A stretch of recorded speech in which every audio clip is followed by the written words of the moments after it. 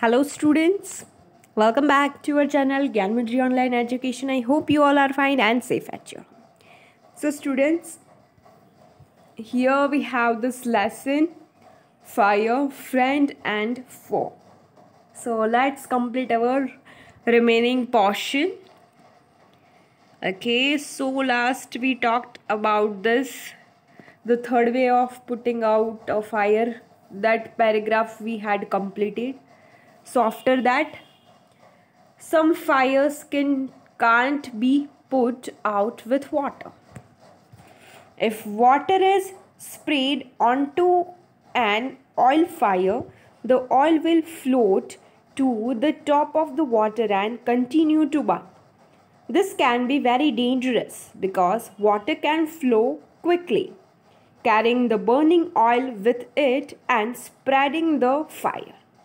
So here some fires can't be put put out with fire uh, with water sorry. तो कई कई बार पानी से भी आग नहीं बुझती। कब? If water is spread on to an oil fire अगर जो पानी है वो ऑयल वाली फायर में लगा है तो स्प्रेड हुआ है तो। The oil will float to the top of the water क्योंकि ऑयल जो है वो पानी के ऊपर आ जाएगा और वो कंटिन्यू बर्न होता रहेगा। जो ऑयल है वो। दोनों मिक्स हो जाएगा water and oil so this can be very dangerous वो बहुत ही डेंजर हो सकता है because water can flow quickly क्योंकि जो पानी है वो जल्दी से फ्लो करता है। Carrying the burning oil with it and spreading the fire वो क्या करेगा? जो बर्निंग ऑयल है, उसे कैरी करता रहेगा और बहुत ही स्प्रेड भी करता रहेगा। क्योंकि वो पानी के साथ होगा ऑयल है वो, इसलिए। Water should also not be use on fires caused by electrical appliances क्योंकि जो इलेक्ट्रिसिटी के साथ कुछ कनेक्शन में आ गया पानी तो उससे भी बहुत ही डेंजर चीज़ें भी हो सकती हैं। तो वो जो फायर है, वो इलेक्ट्रिकल एप्ली एप्लियंस के साथ भी कनेक्ट नहीं होना चाहिए। The person spraying water might receive an electric shock क्योंकि जो वाटर सप्लाई कर रहा है, वो जो स्प्रे कर रहा है वो तो उसके साथ क्या हो सकता है? उसे इलेक्ट्रिक शॉक भी लग सकता है और वो उसी के वजह से मर भी सकता है। तो हमें बहुत केयरफुल रहना पड़ता है। जब हम लोग फायर के साथ कोई इलेक्ट्रिकल एप्लियंस कनेक्शन ना हो और वाटर के साथ भी इलेक्ट्रिसिटी का कोई कनेक्शन ना हो वो हमें ध्यान रखना पड़ेगा। वरना उससे क्या होगा? इलेक्ट्रिक शॉक भी लगेगा। और फिर वो मर भी सकते वो लोग। A carbon dioxide extinguisher is the best thing to fire and electrical fire fight and electrical fire तो ये जो कार्बन डाइऑक्साइड जो है, वो उसकी जो चीज़ है, वो बहुत ही अच्छी है ये इलेक्ट्रिकल फायर के सामने फाइट करने के लिए। We spend millions of rupees each year in fighting fires. तो ये आग के सामने फाइट करने के लिए हम लोग millions we spend millions of rupees बहुत ऐसे हज़ारों, लाखों रुपए हम लोग खर्च करते इसके पीछे, हर साल each year and we spend more trying to find new ways of preventing fires from happening and getting out of control. So here we spend more trying to find new ways हम लोग ज़्यादातर कैसे new way ढूंढते हैं।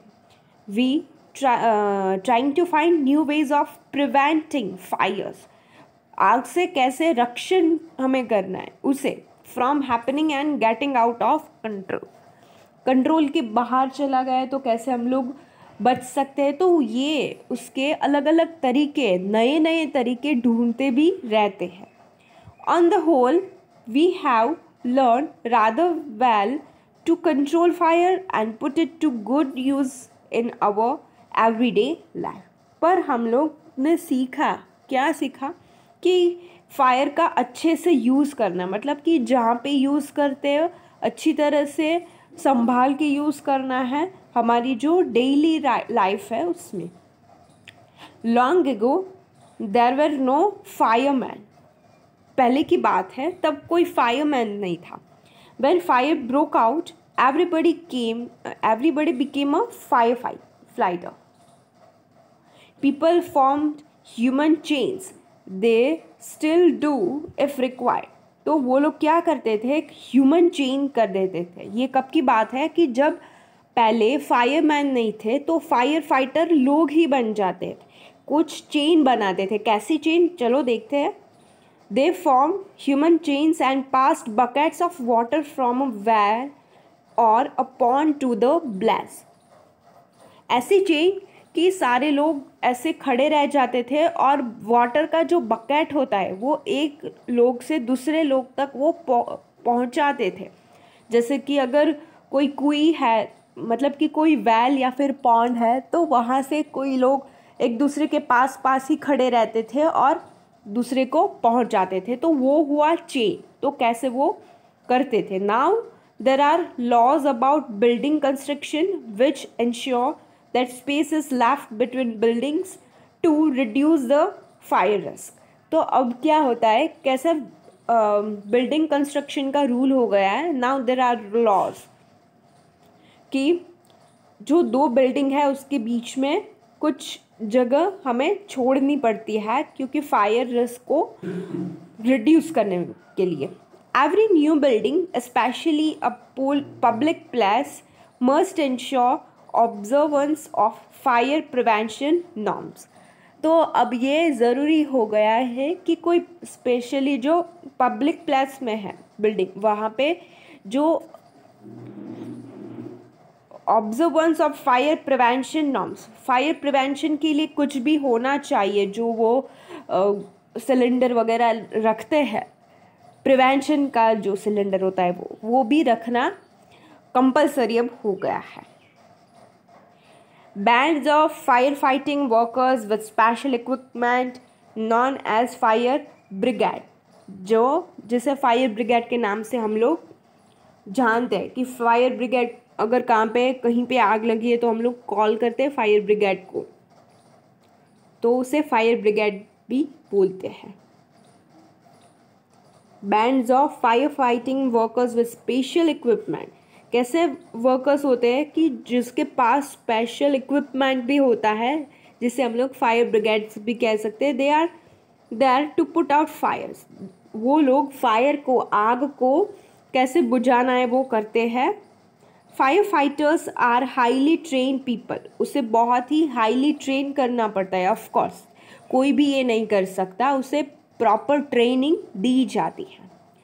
They possess many skills उसके पास बहुत सी ऐसी skills भी होती है। They cut off electricity supply वो पहले क्या करते हैं?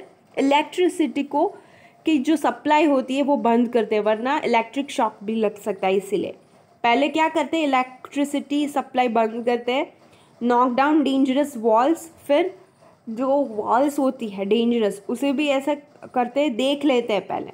Then spray water and other materials to bring fire under control फिर ऐसी जो चीज़ होती है, जिससे आग लगी है, उस पर पानी छिड़कते हैं। They are also train in first aid so that they can help people वो फ़र्स्ट एड के लिए ऐसा जो बॉक्स होता है, जिसमें जो रो uh, मटेरियल्स भी कह सकते हैं कि अगर कोई लोग इंजर्ड हुए हैं फायर में तो उसे कैसे ठीक करना है वो उसके लिए भी उसे ट्रेन किया जाता है। तो पहले यहाँ पे देख सकते हैं कि कैसे लोगों ने चेन बनाई है। पहले आ, पहले के वक्त में कैसे चेन बनाते थे एक दूसरे से कैसे आ, पानी बकेट्स में लेकर वो एक दूसरे को पास करते थे ताकि टाइम भी वेस्ट ना हो और बहुत ऐसा चलना भी ना पड़े। Here fire fighters they can help people suffering from burns और from the effects of smoke जो फायर से स्मोक आती है, उससे भी क्या होता है? बहुत लोग इंजर्ड हो जाते हैं। तो उसके लिए, उसके प्रिवेंशन के लिए उसे फ़र्स्ट एड की ट्रेनिंग भी दी जाती है फायर फाइटर्स को। The discovery of fire and its uses helped early man to cope with nature better and gradually adopt a settled mode of life. Fire is still worshipped in many parts of the world. Fire is indeed a friend, but as we know, it can be a dangerous enemy once it gets out of control. हमें पता है the discovery of fire and its uses had early man तो पहले के लोग जो थे उसने जिसने फायर डिस्कवर किया और उसकी यूज़ किया है, वो हमें दैट वी नो और with nature better and gradually adopt settle mode of life पर अगर जो फायर अगर अब फायर का जो फॉर्म है, वो भी थोड़ा पहले से बदल भी गया है।